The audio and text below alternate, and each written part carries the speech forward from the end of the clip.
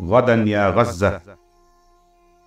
عجبت لأهل غزة كيف باتوا وقد علموا بأن الموت آتٍ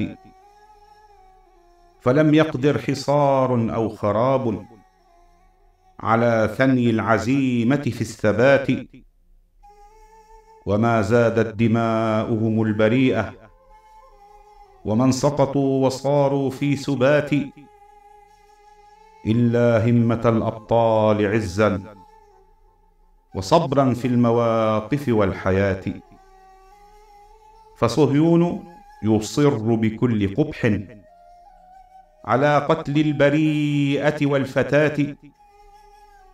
وذبح الطفل ينعشهم ويعطي جرائمهم مزيدا من حلات فيا عتبي على دول تعامت ولم ترعى جوار الصالحات.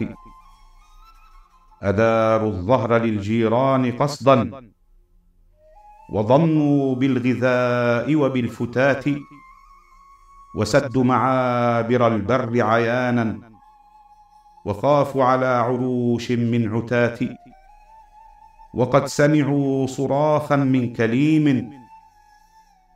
ومن فجعت بظلم من جنات.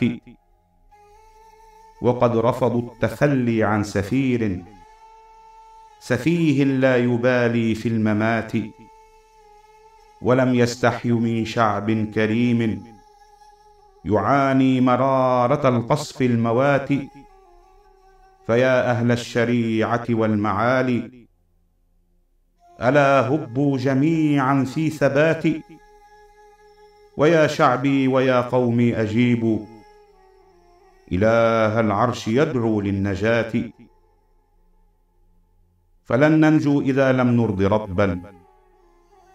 ونأبى الظلم في كل الصفات.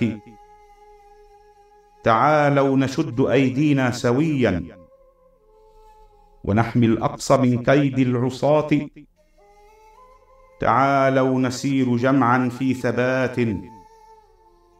تعالوا نزيل آثار الغزاة. تعالوا نعيد أقصانا إلينا وننقذ ما تبقى من جفاه تعالوا نورث الأجيال عزا. تعالوا لنحيي فخرا. كالأبات.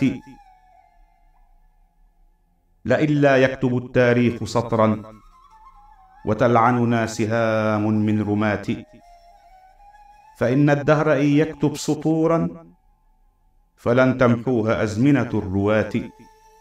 فأهل الظلم قد جاءوا جميعا. وتفرقنا الحقوق بلا أداة. ومن يسقط بسيف الظلم يحيا. ومن يحيا ففي قهر البغاة. ومن باع الحياة لخير شار. وألقى النفس في بحر الصلاة. وقام يجاهد الظلم بصبر. ولم يأبه لعزة أو مناه ولم يسجد لغير الله امرا ولم يركن لظلم من طغاة فذاك سيحيا عزا بعد عز. وإن يدفن ففي لجج النجاة بذاك أخبر المختار يوما فكان بذاك من خير الدعاة.